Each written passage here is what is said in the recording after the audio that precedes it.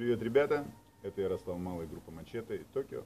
Сегодня в 8 часов вечера в Бэт Шабате в Хулоне мы ждем вас на концерт, который мы проведем совместно с замечательным, потрясающим барабанщиком Моше Янковским.